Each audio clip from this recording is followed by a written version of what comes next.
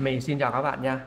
Trong video ngày hôm nay thì mình sẽ hướng dẫn các bạn một cái ứng dụng giúp chúng ta có thể là tìm kiếm nhanh tất cả những cái à, sản phẩm mà chúng ta không biết về giá cũng như là các bạn có nhu cầu tìm kiếm cái sản phẩm đó trên mạng để có thể đặt mua.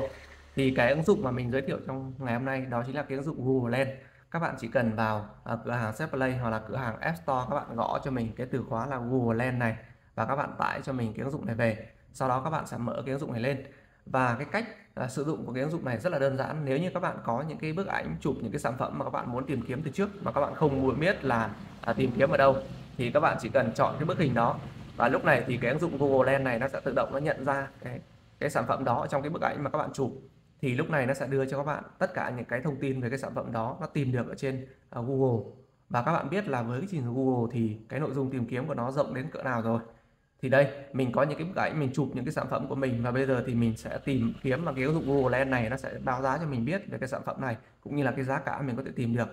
Và ở đây các bạn có thể là truy cập vào những cái trang web mà Google nó dẫn dẫn cho các bạn. Ví dụ như là các bạn có thể vào Shopee để tìm kiếm cái sản phẩm đó.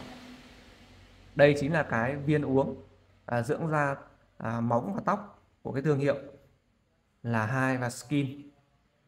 Rồi mình sẽ thử tìm kiếm bằng một cái bức ảnh khác đây mình sẽ tìm kiếm bằng cái bức ảnh này. Thì khi mà mình bấm vào bức ảnh thì cái ứng dụng Google Lens này nó sẽ tự động nó khoanh vùng cái vật thể cần tìm kiếm và nó sẽ nhận ra diện ra được là cái bức ảnh mà chúng ta cần tìm kiếm là cái sản phẩm gì. Sau đó nó sẽ gợi ý những cái sản phẩm à, liên quan ở trên Google. Ví dụ tiếp theo thì mình có một cái bức ảnh mình chụp một cái à, hộp thuốc một cái lọ thuốc như thế này và nó sẽ tự động nó nhận ra đây là cái lọ thuốc gì và cái giá cả như thế nào thì nó sẽ à, tự động nó sẽ gợi ý cho mình để có thể tìm kiếm.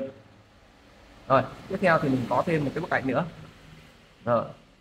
Các bạn thấy là nó nhận diện rất nhanh và nó sẽ đưa cho mình cái thông tin về cái sản phẩm cũng như là cái giá cả của cái sản phẩm này. Ngoài ra thì các bạn có thể là sử dụng cái ống kính bằng cách là các bạn kéo lên. Các bạn bấm trực tiếp cho mình vào cái phần. Các bạn bấm trực tiếp vào cho mình cái phần đó là ống kính Google. Lúc này thì các bạn sẽ sử dụng luôn trực tiếp cái phần ống kính để các bạn có thể chụp ảnh cái sản phẩm lại. Như thế này. Sau đó thì các bạn sẽ bấm cho mình vào cái phần tìm kiếm. Lúc này thì cái sản phẩm sẽ được gợi ý và tìm kiếm khi mà chúng ta đi du lịch đến một cái địa điểm nào đó các bạn có thấy những cái sản phẩm và các bạn muốn so sánh giá của cái sản phẩm đó thì các bạn sẽ sử dụng cái ứng dụng Google Lens này. Các bạn chụp ảnh trực tiếp cái sản phẩm và sau đó thì các bạn sẽ tìm kiếm cái uh, sản phẩm này ở trên Google và chúng ta có thể là so sánh được giá cũng như là xem được cái giá cả trung bình như thế nào để tránh trường hợp là chúng ta có thể là bị mua uh, cao hơn giá thị trường.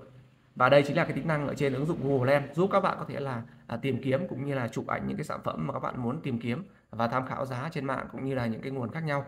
À, và với cái ứng dụng này thì các bạn hoàn toàn có thể tự tin về những cái sản phẩm mà chúng ta là chưa biết à, công dụng của nó là gì cũng như là cái giá cả như thế nào thì các bạn có thể sử dụng cái ứng dụng này để tìm kiếm và cũng như là tham khảo cái giá cả của sản phẩm trước khi mà các bạn đặt mua.